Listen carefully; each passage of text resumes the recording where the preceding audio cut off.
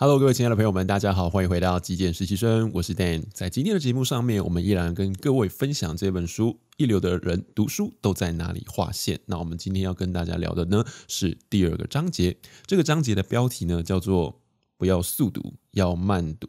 那么作者在这一个篇章的第一句话开宗明义就讲到。不懂的事当然要慢读哦。我想每一个人在念书的过程中、读书的过程中，可能都有一些遇到挫折的经验。可能是你在读一些嗯不是那么擅长、不是那么熟悉的领域的时候呢，可能在某一些专有名词上面，或者是某一些论点上面呢。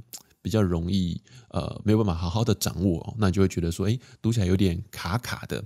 不过呢，作者说，哈，呃，不懂的东西呢，慢慢弄懂的这个过程呢，是很愉悦的。所以呢，作者希望我们能珍惜我们的不懂、不知，然后面对这个所谓的不懂呢，我们应该感觉到高兴哈。因为如果当我们一直在读那些我们很容易理解已知的东西，那老实说，这一些东西并不会带给我们进步。所以作者在这本书里面提到了在什么地方划线呢？这边作者给出的建议是，你可以在你不懂的地方划线。好，作者虽然说到慢读，但是其实作者本身也是有快读的时候哈。他提到了他自己在求学的阶段，呃，做报告的时候呢，其实是因为他的资料量非常的大。那在这个海量的资料里面，他需要赶快的去截取重点，所以于是呢，他就会针对他阅读的目标、目的，去找到它所对应的一些段落来去做呃阅读。也就是说，与他的目的、与他的目标无关的部分，他就会舍去、舍略掉，不去读。那这个部分跟我们之前有一集节目谈到舍读呢，是大致相同的概念。作者举例说，如果说我们要读彼得·杜拉克的管理学，那么目标呢，就是为了要了解领导人该怎么样去管理自己的下属。那么只要读相关的部分就好了，看看书本的一些目录，看一些简介，那么搞清楚你想要学什么，仔细研读这个部分就好。那么这个时候呢，因为你有了明确的目标，那读书的品质还有时间呢，都会有所改变。所以。读的快只是一个结果，它不是一个原因啊。如果你的目标很明确，那么你就可以变得比较快。所以读的快与不快其实不是重点啊。那相对的，作者也认为，有些人会把读书的目标设定在我一年要读几本书。作者也认为说，其实他比较建议大家读的精，而不是读得多。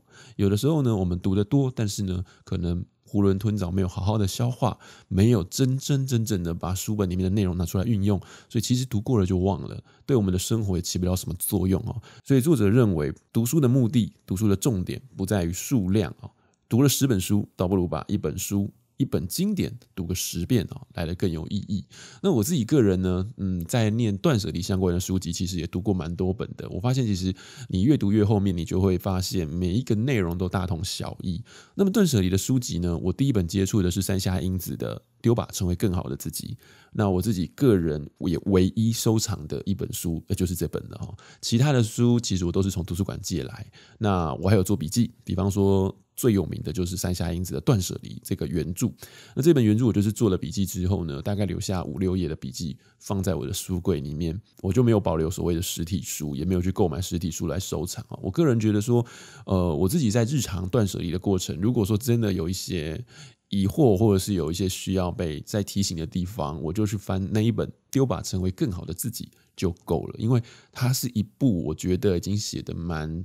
嗯，蛮仔细，然后面面俱到的一本书，所以我只要看那本其实就够了。那其他东西可能就是做一些补充就好。所以，当你能够把书中的东西、书中的内容落实到生活，就像我断舍离一样，整理我自己的衣柜，整理我自己的房间，那么我觉得这本书的价值。就才是真正被我们所发挥出来，而不是你读过了断舍离的相关内容，你就跟别人说：“哦，我大概了解，我知道什么是断舍离。”但是其实你在生活上，诶，可能并没有真正的去落实，那这样就会比较可惜。作者说，读书是专家用来解决问题的最佳工具。一流的商务人士为了目标而读，获得新知跟见解之后呢，他就会展开行动。这也就是所谓的专家跟我们一般呃只是拿来当做闲书轻松阅读的人最大的差别，因为他会去带有目的性的去做研究。那在同一个领域里面，也许读过了很多本书，截取这些地方的共同点，然后了解每一本书的差异啊，去补足、去钻研这些相关的知识。所以也因为你会去钻研，你会去嗯。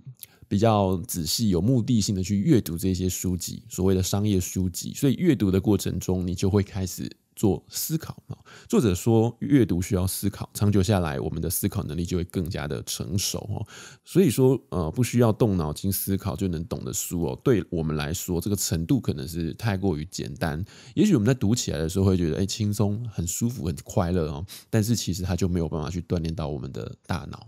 其实我在读这本书的时候啊，不仅仅是这个章节，其实作者一直不断的、不断的在强调。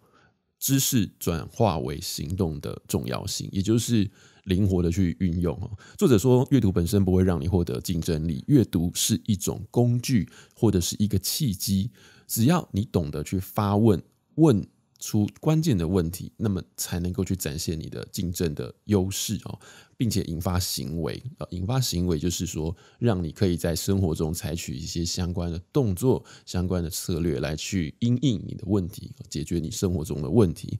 作者说，他小时候呢会喜欢阅读所谓的《昆虫图鉴》，那他的优势是什么？他说他的优势是，每当他读完这些《昆虫图鉴》之后，他就会到山上去接触所谓的昆虫啊。那这个接触的过程。就是一个所谓把知识转化为行动、转化为智慧的一个过程。他其实对自己的生活或者是对自己的印象会更加的深刻。那么，如果说呃，你只是翻阅这一些昆虫图鉴，老实说，你就只是懂了，或者是呃，获取了所谓的昆虫相关的基础知识。但是，如果你真的去接触这一些昆虫，或者甚至是你去养它们的话，那么我们才有办法把书中的这些内容。所谓的活学活用啊，那这样子才是一个把知识转化为我们生活日常智慧的一个过程哦。